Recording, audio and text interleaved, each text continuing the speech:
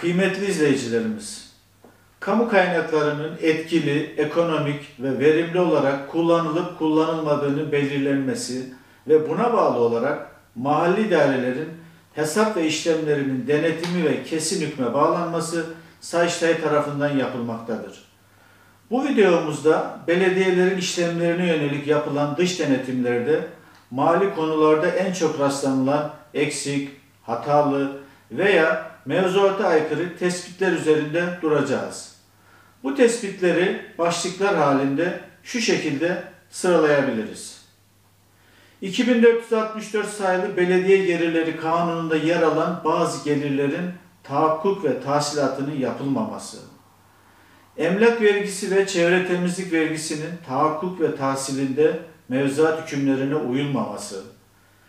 İş yeri açma ve çalışma ruhsatı olmadan faaliyet gösteren iş yerlerine idari yaptırım uygulanmaması.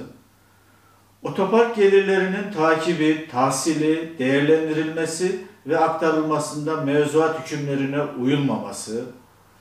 Gecekondu kanunu gereğince oluşturulan fon gelirlerine ilişkin uygulamalarda mevzuat hükümlerine uyulmaması, telekomünikasyon altyapı ve şebekelerinden alınması gereken geçiş hakkı bedellerinin alınmaması, takip ve tahsil edilememesi, harç alınan hizmetler için belediyelerce ayrıca ücret talep edilmesi, belediye ve bağlı kuruluşlarının borçlanma işlemlerinde belediye kanununda öngörülen hükümlere uyulmaması, personel giderlerinin mevzuatta belirlenen sınırların üzerinde olması, belediye ve özel idarelerin kanunen muaf olmalarına rağmen elektrik ve hava gazı tüketim vergisi ödemeleri, belediyelerde katma değer vergisinin indirim konusu yapılmasından mevzuat hükümlerine uyulmaması, işletme hakkının devri niteliğindeki kiralamalara ilişkin KDV işlemlerinde hatalı uygulamalar bulunması,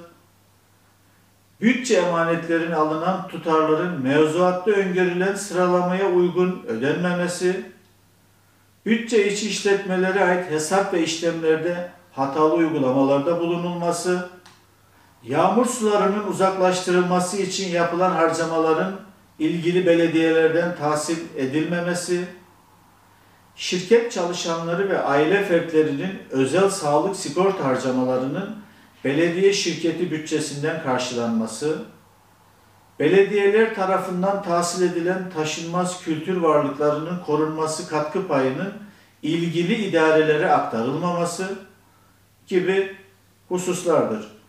Burada saydığımız başlıklar dışında da tespitlerin olduğunu ifade etmeliyiz.